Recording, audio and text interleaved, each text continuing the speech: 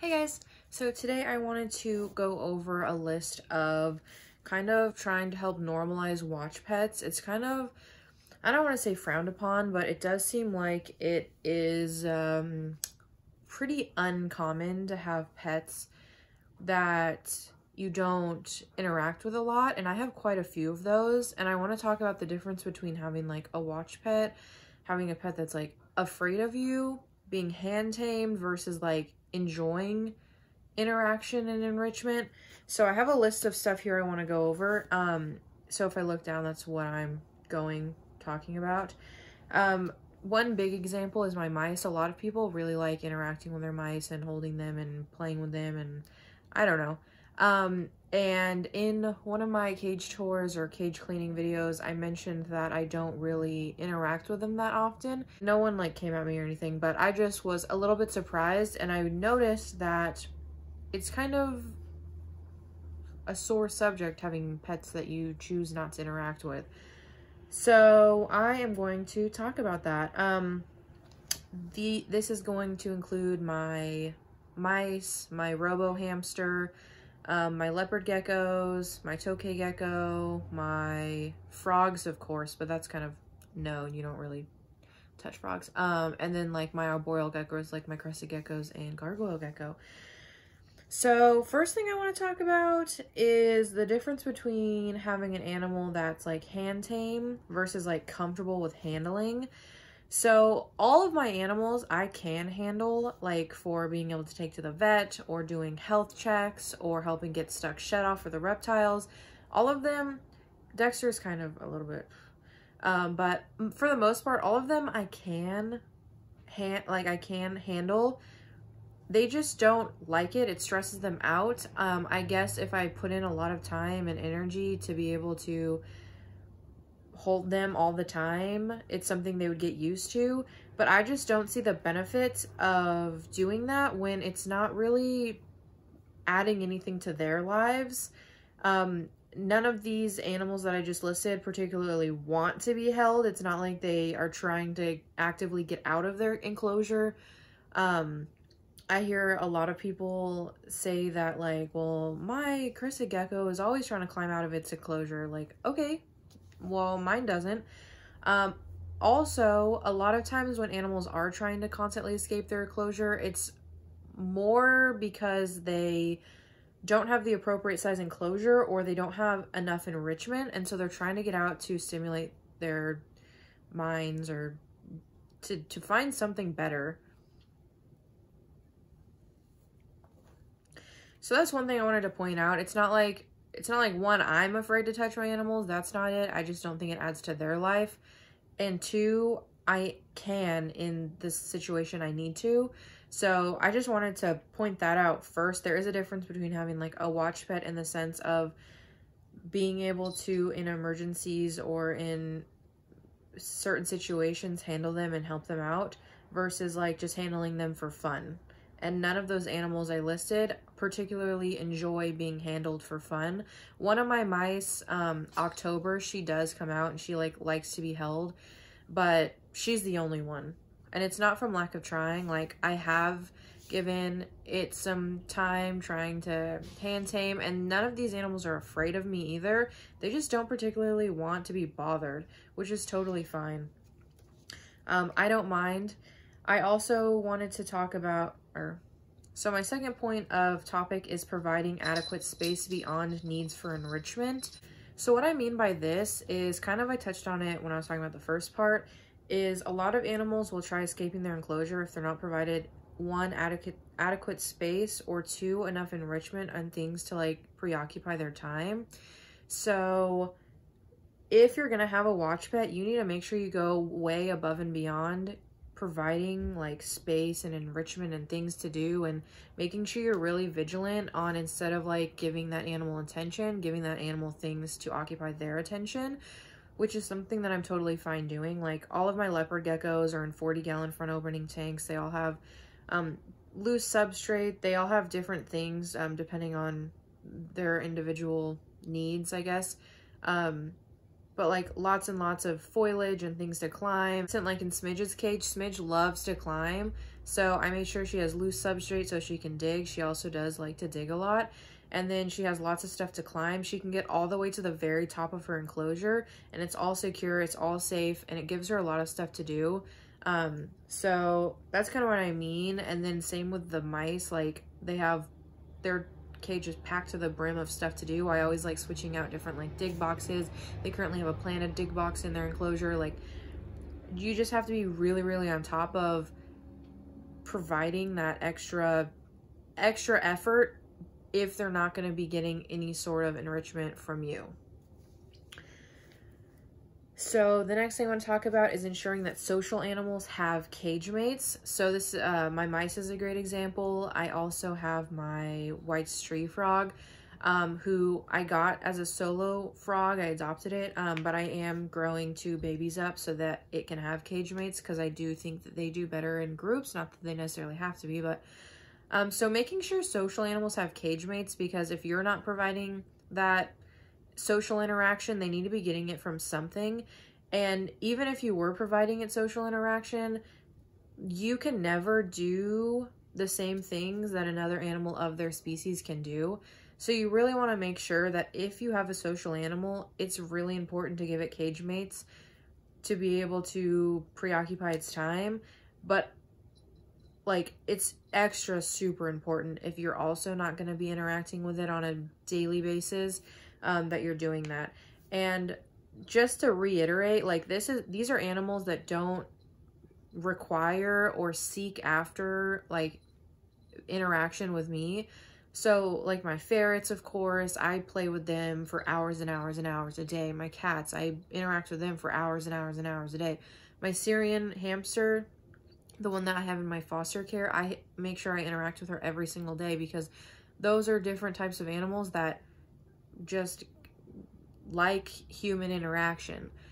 The Syrian hamster thing is kind of wishy-washy because there's definitely Syrian hamsters that don't like human interaction and that's just who they are. But a lot of them do and um, Sky definitely benefits from just that little bit of extra interaction and enrichment a day. So the next thing I want to talk about is having it having an animal as a watch pet especially if you're not putting in hours and hours to make sure that they're 100% comfortable being taken out, eliminates stress because like that animal, that's their home, that's where they know, that's where they feel safe. And every time you take that animal out, whether it's 100% confident with you or not, it still causes a lot of stress, especially if there's other animals in the room or in the house or if there's other people they're not familiar with. Like, there's just so many stressful things outside their environment that you can't replicate, like, even in a human hand. Like, like if we go back to Smidge, for instance, she has so much foliage and things to hide and places to go and just like so much security. When I take her out of my hand, she's just wide open. So she's not afraid of me by any means. Like she doesn't mind being held. It's just the sense of security of being in their own environment and then taking them out for your own personal. It just seems selfish to me. Like if the animal's not, if you are 100% sure you're providing accurate like space and enrichment and they're still wanting to come out, like that means that the animal's wanting to interact with you and if they're not doing that and you're like going through and digging through their house trying to find them just so you can hold them, it just seems selfish to me. And I want to try help normalizing having watch pets because it's something I didn't even realize wasn't normal until I started having a little more interaction on my YouTube videos. Um, so I would just like to normalize it. And I'm not saying there's anything wrong with wanting to interact with your pet. Like I said, if you put in the time, a lot of animals can get used to it. I just don't think there's anything wrong either with not interacting with your pet in the way that most people conventionally think you should. Um, the next thing I want to talk about is knowing your animal. I kind of touched on this with like Syrian hamsters. So some animals are awesome with handling and some of them are not. Like like that specific animal based on the personality. Like for instance, I had Cleo, my other, my previous hamster. Um, she did not really like being handled. It, I could tell it just stressed her out. Like she wanted to be back in her environment in her cage doing her own thing. Um, she never bit me or anything, but it just wasn't something she preferred. Whereas Sky, I can open the cage and she's just ready to come out and play and hang out. And it's not like I'm doing anything different in the care. It's just the personality. Same thing with my leopard geckos. So like Smidge, Smidge is awesome. She will come out, hang out with me. I can hold her on my arm while I'm cleaning her enclosure. However, Dexter absolutely hates me. I don't know what what I did to offend him. I've had him since he was a little baby, but he does not like me. And it's just like difference in personality. So like if I really, really wanted Smidge to be an animal that I could hold every single day and I thought it would really add to her life, it would not be hard for me to just make that a part of her routine. Whereas Dexter, I don't think it would matter how much I encouraged it. He just does not want to be held. And I'm not going to force him to. Um, like I said, with all of these animals in emergency situations or situations when they require my help, I am capable of doing it. It's just not something I do on a regular basis um, because I don't think it adds to their life. Um, a next, the next thing is kind of going off of what I was just talking about. You don't want your pet to be afraid of you. So like I said, none of my animals are afraid of me. I can go in their cage and do whatever I need to. And it's not like they're going to run away and hide, which it makes it easier in situations where I need to hold them or do something, put them in a carrier, take them to the vet. I'm capable of doing that without stressing them out even more because they're hiding. So when I say I don't interact with my animals, I don't want you to think that I just have them in their cages and I don't ever do anything besides like feed them and give them water and I just don't do anything. I make sure that that they're comfortable with me being around their cage, in their cage. I don't want them to be territorial towards me because I do have to go in and do cleaning. I have to make sure they have water. I have to make sure they have food. I have to, you know, make sure everything's safe in their enclosure. I have to just make sure, I don't know, everything's good. I have to interact with their enclosure a lot. And so any of my animals, I can open the door and they're not going to stop what they're doing because I'm invading their space. So you definitely don't want your animal animal to be afraid of you. The only animal I have right now that I'm still working on is my tokay gecko. I've only had him for about four months. He's a captive bred juvenile that I think was like a failed breeding project. Um, he is very scared, but that's also kind of a characteristic trait of tokay geckos. They kind of just are really skittish. So that's something I'm working on. But any of my other animals I've mentioned, like, it's not like they try getting away from me. So in the situation I do need to interact with them, I can. You should also know how to properly pick up your animals, especially if you don't handle them frequent enough for them to just like automatically walk onto your hand or whatever. You should know how to properly pick them up, causing them like most minimal amount of stress, whether it's scooping or like grabbing their midsection to put them on your hand or whatever it is. Obviously depends on the animal. So that's kind of all the points i wanted to talk on. I'd love to hear your opinions on having watch pets um, because it's something that, like I said, I never really thought of being kind of controversial or an issue before. And I do understand a lot of people love having their animals and love interacting with them.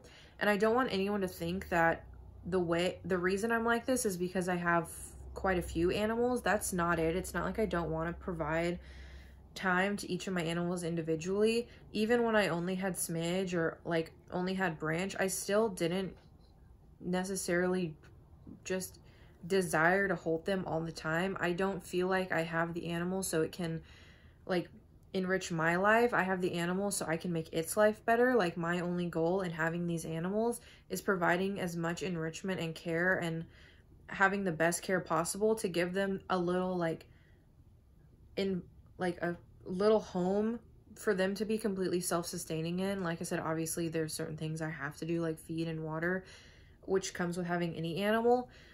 But I just didn't get these animals with the intention of having like a buddy to hang out with. Like, I feel like that's why I have my cats. That's why I have my ferrets. I didn't get my reptiles or my amphibians to be like little buddies and friends that I could hang out with. I got them because I wanted to provide the best life possible for these animals. A lot of my animals are rescues, and so I just wanted to be able to give them a better life than what they had. And I don't think that interacting with them every day is something that will enrich their life anymore. So that's kind of how I feel on the topic. I've been kind of putting off making this video because I was worried it was going to be taken the wrong way. And I really hope it's not. Like I said, if you want to have animals that you want to in interact with all the time, I'm not saying that that's not something you should do. They're your animals to each their own. I just want to kind of explain why I don't do that and also try normalizing it for other people that are like me um, because I did feel like kind of kind of discluded from the animal community when that's kind of how I just handle my animals. Uh, we have like a mutual respect, I guess. They're not afraid of me. I'm not afraid of them. I don't bother them unless they need to. And vice versa. I just let them do their thing in their house.